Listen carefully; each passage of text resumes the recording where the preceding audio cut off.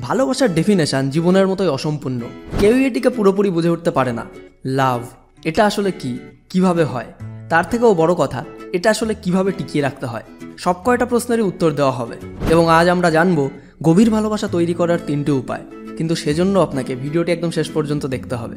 So tips number one তার চাহিদাটা খুঁজে বের করুন। নিশ্চয়ই আপনার বাবা আপনার প্রত্যেকটা চাহিদা চাওয়ার আগেই পূরণ করে দেয়, তাই আপনি তাকে নিঃস্বার্থভাবে ভালোবাসেন।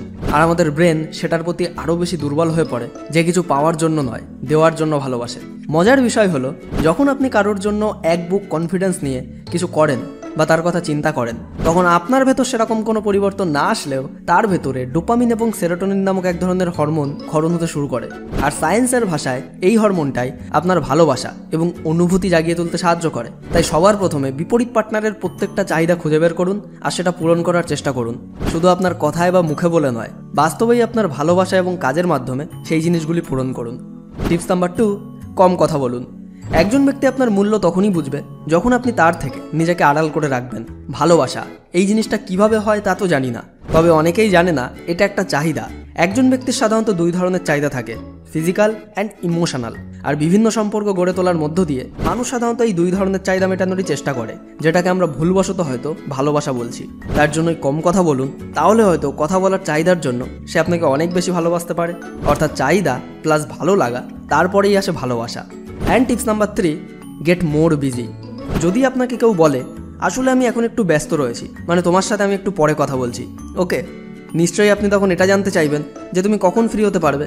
আর একটা রিসার্চ থেকে জানা গেছে, অপর কাউকে সুন্দর করে ব্যস্ত আছি বললে, আপনার প্রতি তার ভালোবাসা, আবেগ আর চাহিদা সেভেন্টি পার্সেন্ট পর্যন্ত বেড়ে যায়।